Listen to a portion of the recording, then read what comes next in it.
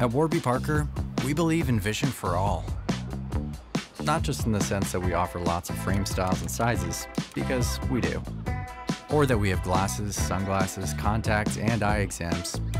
There's also that. But because we believe everyone has the right to see.